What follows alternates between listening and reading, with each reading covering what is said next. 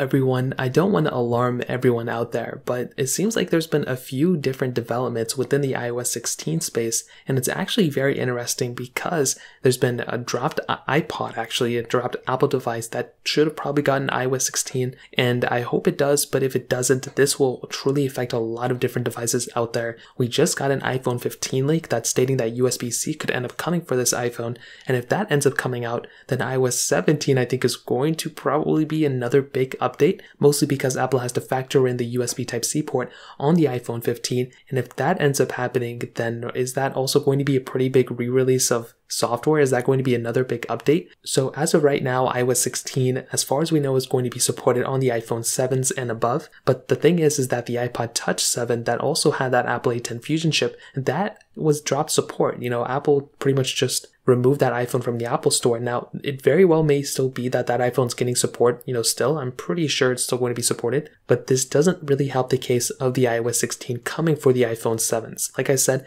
I'm pretty sure it will, but could you imagine if Apple ended up dropping support of the iPhone 7, 7 Plus, as well as the iPhone 6s, 6s Plus, and iPhone SE, that would be one of the biggest drops of support from any software version going from one version to the other. I think the last time something like this probably happened was probably with iOS 11, maybe iOS 9, but iOS 11, where Apple, sorry, iOS 12, where Apple dropped support, where Apple dropped support for the iPhone 6, 6 Plus, and the iPhone 5s, but those were kind of understandable. So that's going to be very interesting if that actually ends up being the case in this specific example. However, as of right now, this does kind of, like I said, you know, kind of puts a wrench in certain things because another thing I've heard, and I don't know if this is 100% going to be the case, but we've been hearing a lot of reports that basically the next iPhones are going to have the Apple A16 chip on the, you know, Pro ones, but they're still going to have a year old chipset on the, you know, older ones or for the cheaper ones. So for the iPhone 14 base model, that's going to have a separate, cheaper chipset than the, you know, top tier Pro models.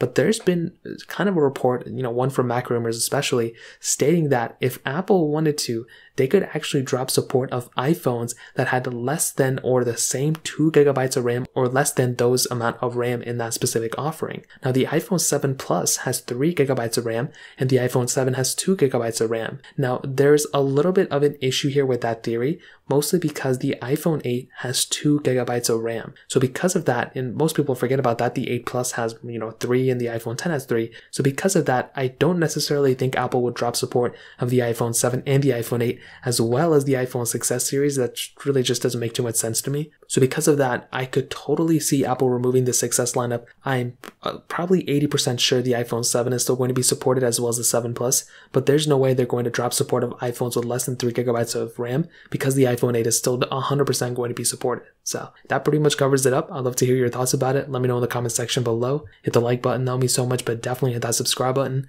More importantly everything else, I love every single one of you guys. Hopefully I'll catch you guys in the next video. Peace out till then.